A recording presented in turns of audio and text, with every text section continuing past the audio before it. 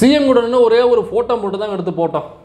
இதை பார்த்து நம்ம அர்ஜுன் சம்பத்தன்னா அப்படியே பற்ற வைத்து நெருப்புன்ற படபடன்றபடி தீப்பட்டு எரிய நம்ம அந்த கஸ்தூரிய காதில் கால் தூக்கி வைக்க நம்ம நாத்தாக்கா கட்சியினர் அதில் நனைய அப்படியே ஒரே குஜால் தான். ஆ? வேற ஒன்றும் இல்லை பர்னிங்கு. ஆனால் எரியத்தான் செய்யும். அது எரியத்தான் செய்யும். வேற ஒன்றும் வழி இல்லை. வேணா நீ போய் போட்டோ எடுத்துக்கணும் யாரும் வேண்டாம்னு சொன்னேன். மக்களை நல்லா நோட் பண்ணி பாருங்க. நம்ம மேலே நீண்ட நாளாக குற்றச்சாட்டு வைப்பாங்க. பாருங்க இவங்க வந்து திமுக கிட்ட காசு வாங்குறாங்க. அவர்கிட்ட காசு வாங்குறாங்க இவங்ககிட்ட காசு வாங்குறாங்கன்னு சொல்லுவாங்க. But this time not this ஒரு ஆனர் முதல்வர் அவர்களை சந்தித்து நாம இந்த தடவை காசு கொடுத்துருக்கோம். நாமன்னாக்கா அது எங்களுடைய என்னுடைய காசு இல்லை. என்னுடைய காசோ அங்கே உள்ள யூடியூபோட காசோ இல்லை. இது உங்களுடைய காசு. மக்களாகி நீங்கள் கொடுத்த பணத்தை நீங்கள் நிற்க வேண்டிய இடத்துல நாங்கள் நின்று உங்களுடைய பணத்தை சிஎம்கிட்ட கொடுத்துருக்கோம். நம்ம ஏற்கனவே பல முறை சொல்லியிருக்கோம். எங்களுடைய ஐடியாலஜி ஸ்டாண்டு எல்லாம் ஒன்றே ஒன்று தாங்க பெரியார் அம்பேத்கர் மார்க்ஸ் போட்ட பாதையில் அப்படியே நாங்கள் நடந்து போயிட்டுருக்கோங்கிறது தான் எங்களுடைய கொள்கை. அதனாக்க நாங்கள் பெண்ணடிமைத்தனத்துக்கு எதிராக பேசுவோம் ஜாதியத்துக்கு எதிராக பேசுவோம் மத அடிப்படைவாதத்துக்கு எதிராக பேசுவோம் மூடநம்பிக்கைக்கு எதிராக பேசுவோம். இதெல்லாம் பேசுகிறோம் அப்படின்னாக்கா இதே கொள்கை தான் உன்னோடனாக்கா நீ என்னை கூப்பிட்டு பாராட்டிக்கணும் ராஜா. உன் பக்கத்தில் கூப்பிட்டு நான் உட்கார வச்சிருக்கணும். சூப்பராக டே தம்பி இதே தான் நாங்களும் பேசுகிறோம் வா என் பக்கத்தில் உட்கார ஏன் ஆளுமே தம்பி ஏன் ஆளும் முதல்ல தட்டி கொடுத்துருக்க நீ. அப்படி தட்டி கொடுக்கவும் இல்லை என்னை கூப்பிட்டு உட்கார வைக்கவும் இல்லை அப்படின்னாக்கா என்ன அர்த்தம்? என்ன அர்த்தம்? நீ பெண்ணடிமைத்தனத்தை ஆதரிக்கிறேன்னு அர்த்தம். இந்த ஜாதியத்தை நீ ஆதரிக்கிறேன்னு அர்த்தம். மத அடிப்படைவாதத்தை ஆதரிக்கிற மூடநம்பிக்கை நீ ஃபாலோ பண்ணுறேன்னு அர்த்தம். அட அப்புறம் செஞ்சுக்கலாம் உன் கொண்டை தெரியுது. கொண்டே மறைங்கடா அப்புறம் செஞ்சுக்கலாம்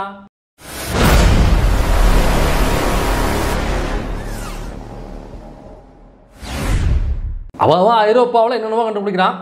நம்ம ஆளுங்க பாருங்க. நான் போட்ட ஃபோட்டோவையே எடுத்து எனக்கே கிளாஸ் எடுக்கிறாங்க. தெரியுதா? இப்போ தெரியுதா? இவர் யாருன்னு தெரியுதா? அவர் யாருன்னு தெரியுதா? இப்போ புரியுதா? இப்படின்னு போர்டை வச்சுக்கிட்டு புளிக்கிட்டு திரும்பி ஒரு நாய் அந்த நாய்க்கும் நான் போட்ட ஃபோட்டோவை எடுத்து என்னையே டேக் பண்ணி என்னையே கைக்குள்ளுன்னு சொல்கிற உங்களுக்கும் என்ன வித்தியாசம்னு தான் நான் கேட்குறேன். அதாவது ஆர்எஸ்எஸ் தம்பிகள் கிறிஸ்தப்பாக்கள் இவர்களெல்லாம் கதற அந்த சவுண்ட் இருக்குது பார்த்தீங்களா? அந்த சிஎம் எடுத்த ஃபோட்டோ பார்த்துட்டு அது அப்படியே நமக்கு சுகானுபவமாக இருக்கிறது சுகானுபவமாக. நம்முடைய செயல்கள் எதிரியை கழிய வைக்கிறது என்றால் நாம் சரியான பாதையில் சென்று கொண்டிருக்கிறோம் என்று அர்த்தம்ங்க ஒரு ஆக்சிஜன் தேவைக்கான உபகரணங்கள் வாங்குவதற்கான நிதி திரட்டலுங்க. அவ்வளோதான் இது. திருவண்ணாமலையில் உள்ள ஒரு அரசு மருத்துவமனை. அங்கே இந்த ஆக்சிஜன் தேவைக்கான உபகரணங்கள் வாங்கணும் அதுக்கு ஒரு நிதி தேவைப்பட்டுச்சு. அங்கே உள்ள ஐஏஎஸ் மூலமாக பல யூடியூபர்ஸ் சேர்ந்து இந்த ஒரு முயற்சியை நாங்கள் எடுத்தோம். உங்களுக்கே தெரியும் கொரோனா சமயத்தில் ஆக்சிஜன் இல்லாமல் எத்தனை உயிர்கள் இங்கே குத்து குத்தாக செத்துச்சு கங்கை நதிக்கரையில் மிதந்துச்சு. எரிக்கிறதுக்கு இடம் இல்லாமல் புதைக்கிறதுக்கு இடம் இல்லாமல் எவ்வளோ கஷ்டப்பட்டோம் அப்படிங்கிறது உங்களுக்கு நல்லா தெரியும். அப்போ தமிழ்நாட்டிலையும் அதே ஆக்சிஜன் பற்றாக்குறை இருந்துச்சு. ஆ தமிழ்நாட்டில் இருந்துச்சா? நீங்கள் வந்து திராவிடத்தால் வாழ்ந்தோம்னு சொல்கிறீங்க தமிழ்நாடு வந்து எல்லா மாநிலங்களும் பெட்டர்னு சொல்கிறீங்க அப்புறம் எப்படி தமிழ்நாட்டில் மட்டும் இருந்துச்சு? மாட்டினியா? கிடுக்குப்பட கேள்வி. மாட்டினியா? நீயே வாய கொடுத்த மாட்டினியா? அதே பற்றாக்குறை இங்கேயும் இருந்துச்சு. எதனால்? இந்த ஒன்றுக்கும் உதவாத இந்த உதவாக்கிற ஒன்றிய அரசுனால ஏற்பட்ட பிளான் இது. அவங்க போட்ட பிளான்னால ஏற்பட்ட சிக்கல் இது. இங்கே நம்மக்கிட்ட இருந்த ஆக்சிஜனை தூக்கி வடமாநிலத்துக்கு வட மாநிலத்துக்கு அனுப்புறது. அப்புறம் இங்கே பற்றாக்குறையா? அப்புறம் வட மாநிலத்துலேருந்து ஏற்றி இங்கே அனுப்புறது.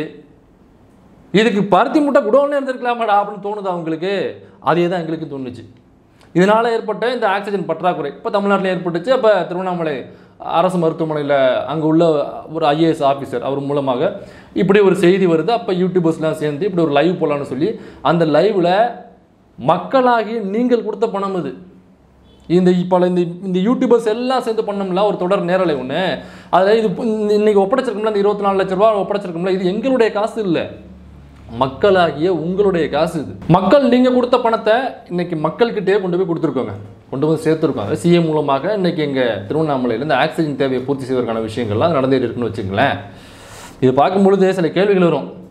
இது ஏதோ நாங்கள் வந்து இந்த கண்ணா ஆப்ரேஷன் கலெக்ஷன் போட்டு அந்த காசில் இசூசு கார் வாங்கிட்டு அதில் ஏசியை போ போட்டுக்கிட்டு காலை புழக்க போட்டுட்டு தூங்கிட்டு நாங்கள் போகலை.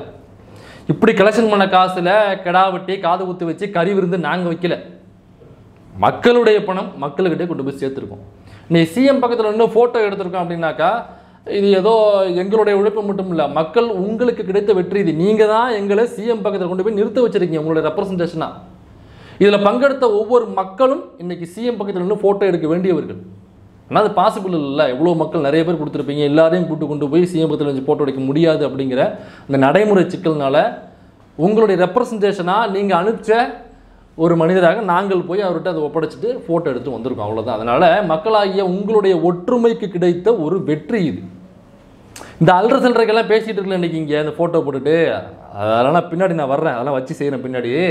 அதுக்கு முன்னாடி இந்த விஷயத்தில் பங்கெடுத்து உதவிய ஏன்னா கொரோனா சமயம் லாக்டவுனு பல பிஸ்னஸ் லாஸ் ஆகிருக்கும் கையில் காசு இருக்காது அதையெல்லாம் தாண்டி பல உயிர்களை காப்பாற்ற வேண்டும் ஆக்சிஜன் இல்லாமல் பல உயிர்கள் போயிட்டுருக்கு அப்படிங்கிற ஒரு நல்லெண்ணத்தின் அடிப்படையில் நீங்கள் கொடுத்த அந்த பணம் அந்த உதவித்தொகை இன்னும் மக்கள்கிட்ட போய் சேர்ந்திருக்கு அப்படிங்கிற பட்சத்தில் உங்களுடைய அந்த நல்ல எண்ணத்திற்கு ஒவ்வொருத்தருக்கும் இதில் பங்களித்த ஒவ்வொருத்தருக்கும் நான் நன்றி சொல்ல கடமைப்பட்டிருக்கேன். ராஜா நீ பேசுறது ஏதோ பிளிப் பிளிப்பையோ யூடியூப் போட்டோஸையோ யூட்டர்னையோ தமிழ் கேள்வியோ இந்த மாதிரி யூடியூப் சேனல் உள்ள தனித்தனியான நபர்களை நீ பேசல.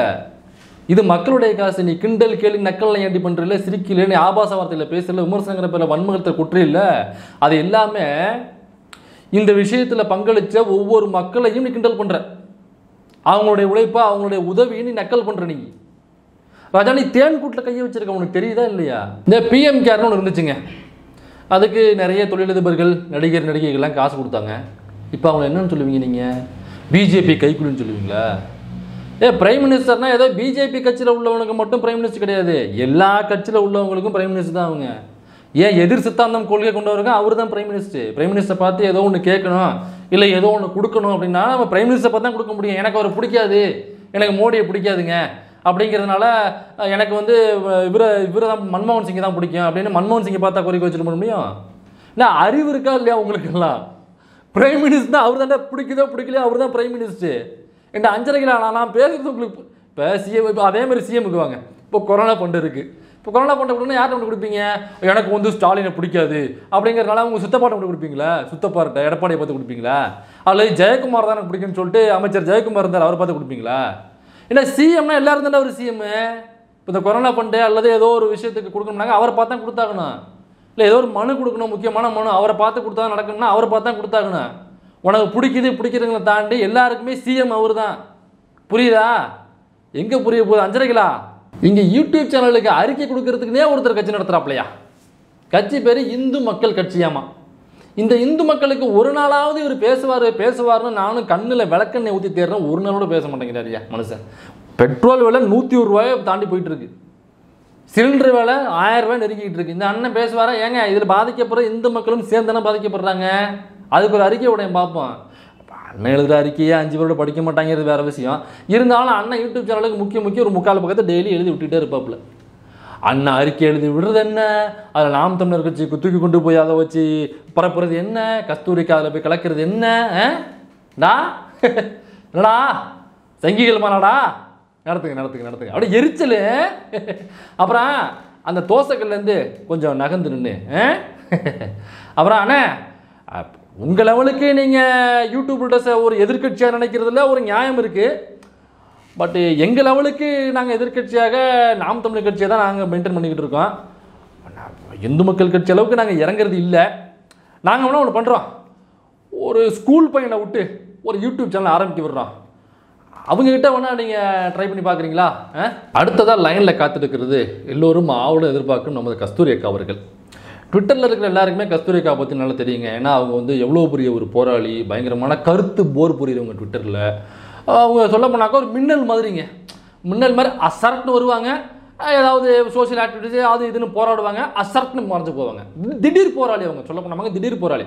ஏன்னாங்க இப்போ சென்னையில் மட்டும் இல்லைங்க தமிழ்நாட்டில் மட்டும் இல்லை. தமிழ்நாடு அப்புறம் வந்து அப்படின்னா மகாராஷ்டிரா கல்கட்டா அப்படியே போனீங்கன்னாக்கா யூஎஸ்ஸு இப்போ லண்டனு அமெரிக்கா அங்கெல்லாம் பயங்கர எல்லா இடத்துலையும் போராடக்கூடிய ஒரு போராளிங்க. உலகளாவிய ஒரு போராளி அக்கா அவங்க.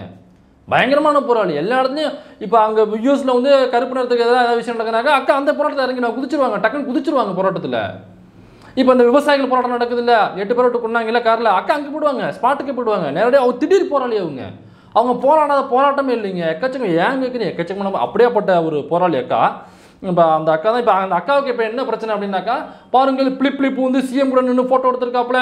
அவர் அப்போ எவ்வளோ ஆபாசமான வன்மங்களை கொட்டக்கூடியவர் தெரியுமா அவர் வீடியோக்களில்? இவரை சிஎம் ஆதரிக்கிறாரா? அப்படின்னு அக்கா போர்டு இல்லாமல் ஒரு வீடியோவை போட்டுக்கிட்டு இருக்கு. நீங்கள் நல்லா நோட் பண்ணி பாருங்கள் எல்லா பயலுமே இந்த சங்கி மங்கி சங்கி அஞ்சரை அஞ்சு நாலே முக்கால் எல்லாமே என்ன பண்ணுனாக்கா பதில் சொல்ல முடியாத இடத்துல என்ன பண்ணுவாங்க? நேரடியாக வண்டி அப்படியே திருப்புவாங்க. இந்த கிரிகாலன் மேஜிக் ஷோ மாதிரி அப்படியே திருப்புவாங்க. இப்படி பிளிப்பாக கொண்டு திருப்புவாங்க. அப்படியே ஒன்று பாருங்கள் இவர் வந்து எவ்வளோ ஆபாசமாக பேசுகிறார் பாருங்கள். ஏன் தெரியுமா அந்த கதறல்? ஏன்? அவங்களோட கவுண்டருக்கு இவங்கள்ட்ட பதில் கிடையாது. அவனால சந்துக்குள்ள மூத்திர சந்தில் விட்டு மிதி மிதி மிதிக்கிறான் வாயில். இவங்கள்ட்ட பதில் கிடையாது. எதிர்வினை ஆட்டும் போது அப்படி தான் இருக்கும். அவன் ஆட்டுறது வினை இல்லை அவன் ஆட்டுறது எதிர்வினை. எதிர்வினை அப்படி தான் இருக்கும். வாயில் கவ்வை கொடுத்து தான் அடிப்போம். சாணி நமக்கு தான் அடிக்க செய்வாங்க. கேங் ரேப்பை ஜோக் பண்ணிட்டான் அப்படின்னு சொல்லிட்டு ஒரு குரூப் பேசிகிட்டு இருக்கு.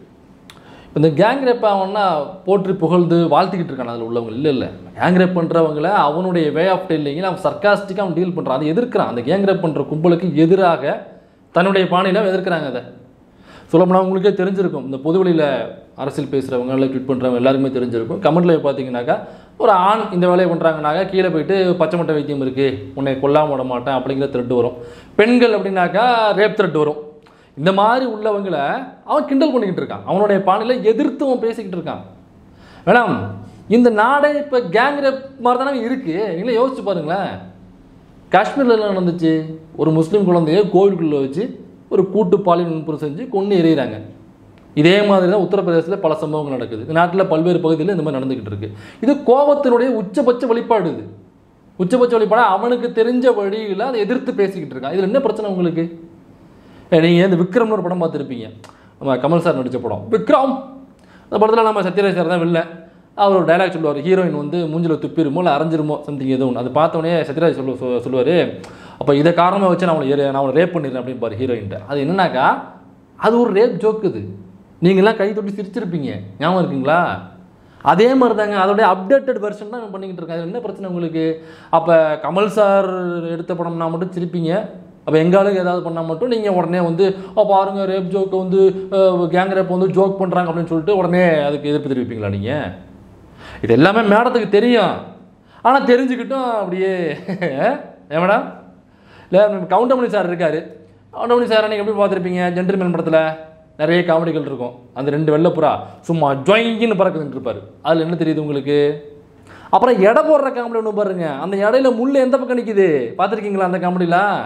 யார் எடுத்த படம்? சங்கர் வகைராக்கள் எடுத்த படம். சுஜாதா வகைராக்கள் எடுத்த படம். ஏன் அதுலலாம் உங்களுக்கு ஆபாசம் தெரியலீங்களா? அப்போ பேச வேண்டியது நீங்கள் சுஜாதா சார் இப்போ உயிரோட இல்லை. சங்கர் சார் இருக்கார். கேட்கலாமே இன்றைக்கி ட்வீட் பண்ணி அவரை டேக் பண்ணி கேட்கலாமே. என்ன சங்கர் சார் இந்த படத்தில் இந்த காட்சி இப்படி வச்சுருக்கீங்களே? பெண்களுடைய உடலை வந்து நீங்கள் ஆபாசமாக சித்தரிச்சிருக்கீங்களே? இது சரியா முறையா அப்படின்னு சொல்லி கேட்கலாமே. ஏன் கேட்க மாட்டேங்கிறீங்கக்கா இப்போ சங்கர் சார் சுஜாதா சார் அவங்க படத்தில் வரலாம் விட்டுருவீங்க. எங்கள் ஆளுக்கு எதை எதை பேசினா மட்டும் உடனே அதாவது அது ஒரு ரசனைக்கா அவ்வளோதான் இப்போ கவுண்டமணி சார் அந்த படத்தில் நடிச்சிருக்காருங்களா?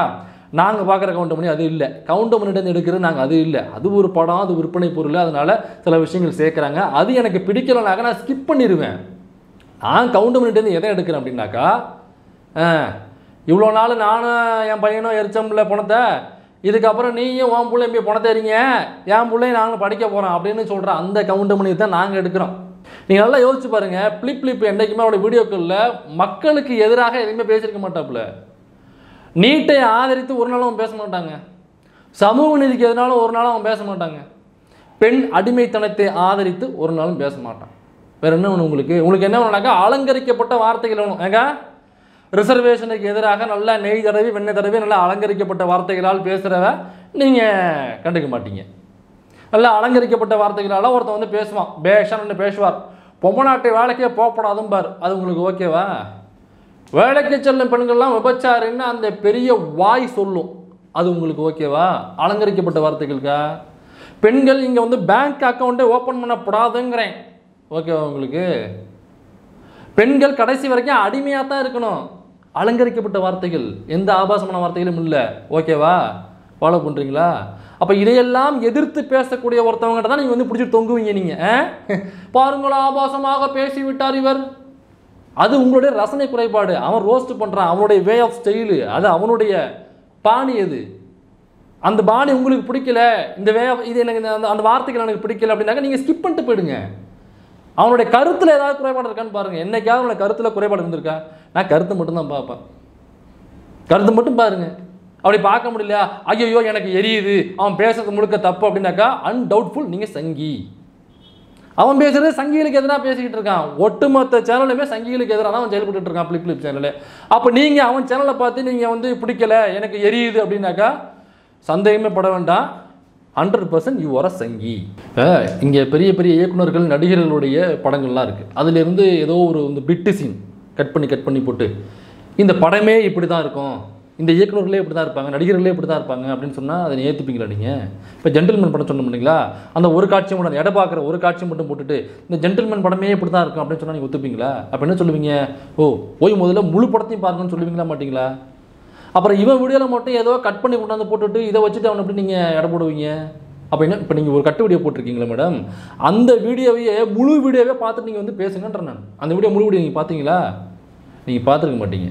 நீங்கள் அந்த வீடியோ முழு வீடியோ பார்த்துட்டு அதுக்கப்புறம் வந்து பேசுங்க. இப்போ நீங்கள் நடித்த படத்துலையே இந்த மாதிரிலாம் ஒரு ஆபாச கண்டு கட்டு வீடியோ அந்த பிட்டு வீடியோ இருக்குது பார்த்தீங்களா அதே மாதிரி கட் பண்ணி போட்டோம்னாக்கா அப்போ எல்லாருமே அதானே பண்ணுவாங்க. உங்களை கேட்கும் கேள்வி கேட்கும்பொழுது நீங்கள் எங்கேயோ நடித்த ஒரு ஒரு பிட்டு வீடியோ கட் பண்ணி அதை போட்டு பாருங்கள் இவர்கள் தான் வந்து கேள்வி கேட்கிறார்கள் அப்படின்னு கேட்பாங்கல்ல? அப்போ என்ன சொல்லுவீங்க நீங்கள் ஏன் இந்த படத்தை முழுசாக போய் பாரு முதல்ல. அந்த படத்தில் அப்படி நடிச்சிருக்கனாக்கா நான் அப்படியே நடிச்சிருப்பியா நீ அப்படின்னு கேள்வி கேட்பீங்களா மாட்டிங்களா? அப்போ அவனோட வீடியோவில் மட்டும் பிட்டு வீடியோ போட்டு கேள்வி கேட்குறீங்க? நீங்கள் போட்ட பிட்டு வீடியோவே நான் மறுபடியும் சொல்கிறேன் முழு வீடியோ பாருங்கள் பார்த்தீங்கன்னா கண்டிப்பாக நீங்கள் சப்ஸ்கிரைப் பண்ணுவீங்க. அடுத்தது அடுத்தது வேறு யாருங்க? சங்கிகள் வந்துட்டாக்கா அதில் சங்கமிக்கிறதுக்கு தம்பிகள் வருவாங்கல்ல வந்து கலந்துட்டாங்க. நமது அதிபரின் ஆளுநராக இருக்கக்கூடிய நமது அடுத்த கட்ட லெவலில் இருக்கிற ஒருத்தர். அந்த கலெக்ஷன்லாம் கரெக்ட் பண்ணி வாங்கி கொடுக்குற ஒருத்தர். அவர் உடனே வந்து ஒரு ட்விட்டர் போடுறாப்புல என்ன போடுறாப்புலனா பாருங்கள் நாங்களும் வந்து ஹாஸ்பிட்டலுக்கு ஆக்சிஜன் கான்சன்ட்ரேட்டர் வாங்கி கொடுத்துருக்கோமே. நாங்களும் வந்து சிஎம் கூட ஃபோட்டோ எடுக்கலாமா ஃப்ரெண்ட்ஸ் அப்படின்னு சொல்லி ஒரு கேள்வி கேட்டாப்புல. அண்ணே அதாவதுண்ணே உங்ககிட்ட எக்கச்சக்கமான யூடியூப் சேனல்ஸ் வச்சுருக்கீங்க நீங்கள் இந்த உம்மளச்சேரி மாடு வளர்க்க போகிறேன் ஃபண்டு கொடுங்க அப்படிங்கிறதெல்லாம் விட்டுட்டு கண் ஆப்ரேஷனுக்கு கலெக்ஷன் வேணும்னு சொல்லி ஆட்டையை போகிறத விட்டுவிட்டு அப்புறம் காது ஆப்ரேஷனுக்கு காசு வேணும்னு சொல்லி கலெக்ஷன் பண்ணுறதை விட்டுவிட்டு அப்புறம் மூக்க ஆப்ரேஷனுக்குன்னு சொல்லி மூக்கணுன்றதை விட்டுவிட்டு இந்த மாதிரி ஒரு மக்கள் சார்ந்து ஏதோ ஒரு நலன் சார்ந்து ஒரு இந்த ஆக்சிஜன் பிளான்ட் வைக்கணும். அல்லது வேறு ஏதாவது சமூகம் சார்ந்த விஷயங்கள் வேணும்னு சொல்லி ஒழுங்காக அதை வந்து கலெக்ஷன் பண்ணி அந்த கலெக்ஷன் பண்ண காசில் இசூசு கார் வாங்காமல் காது குத்துக்கள் வச்சு கறி கஞ்சி ஊற்றாம நியாயமாக வசூல் பண்ண காசை அப்படியே கொண்டு போய் அதற்கான மக்கள்கிட்டயே கொண்டு போய் சேர்த்திங்க அப்படின்னாக்கா நீங்களும் சிஎம் நின்று ஃபோட்டோ எடுக்கலாம்னே அதுக்கு முதல்ல உங்கள் யூடியூப் சேனல்ஸ்லாம் இருக்குது பார்த்தீங்களா அதானே? இந்த ஈழத்துலேருந்து யாராவது குற்றச்சாட்டு வைக்கிறாங்க ஒரு பெண் ஒருத்தவங்க அனந்தி சசிதரன் வச்சாக்கா நீங்கள் உங்கள் உங்கள் கட்சியிலேருந்து ஃபோன் பண்ணி அவங்கள கண்ணாப்பண்ணு திட்ட சொல்லுவீங்கல்ல? வீடியோ போட சொல்லுவீங்கல்ல? அதுதான் அவங்க எல்லாரையும் ஒருங்கிணைச்சு இந்த மாதிரி ஒரு நல்ல வேலைக்கு பயன்படுத்துனீங்கன்னா நீங்களும் சிஎம் கூட நின்று ஃபோட்டோ எடுத்துக்கலாம். அதுக்கப்புறம் சிஎம் கூட தோற சொல்லலாம். நீங்கள் சொன்னதுக்கப்புறம் அது நம்ம மரியாதைக்குரிய முதல்வர் ஸ்டாலின் அவர்கள் கூட அடுத்ததாக சீமான் அவர்கள் அதிபராக ஆக வேண்டும் அப்படின்னு கூட அவரும் சொல்லலாம். அதுக்கான வாய்ப்புகள்லாம் இருக்கலாம். அது நீங்கள் நடந்துக்கிற முறையை பொறுத்து இருக்குது அப்புறம் அண்ணே நீங்கள் அதுக்கான முயற்சிகள் எடுத்தீங்கன்னாக்கா கண்டிப்பாக அது நடக்கும். ஒரே ஒரு சஜஷன் இந்த உள்ளாட்சி தேர்தல் அதை நினச்சா தான் பாவம் ரொம்ப வருத்தத்தில் இருப்பீங்கன்னு நினைக்கிறேன். மேலே கிண்ட வேண்டாம்னு நினைக்கிறேன். கடைசி வரைக்கும் பயிற்சி எடுக்காதீங்கன்னு. பயிற்சி எடுக்காமல் கொஞ்சம் முயற்சி எடுத்து களத்தில் இறங்குங்க. அப்புறம் அங்கிட்டு போயிடாதீங்கன்னு அந்த பக்கம். அது இந்த விஜய் மக்கள் இயக்கத்தில் நிற்கிறாங்க மாணவருக்கு கலாய்ப்பாங்க. நான் வேண்டாம்னு. அந்த பக்கம் போயிடாதீங்க. பாருங்க ஒரு கைண்ட் இன்ஃபர்மேஷன் நல்லதுக்காக சொல்கிறேன் பார்ப்போம் அடுத்த வாரம் பார்ப்போம் அப்புறம் அடுத்த வாரம் ஒரு ரெண்டு ஃபோட்டோ வேறு போடுறோம்னு நினைக்கிறேன். ரெடியாக இருங்கண்ணே.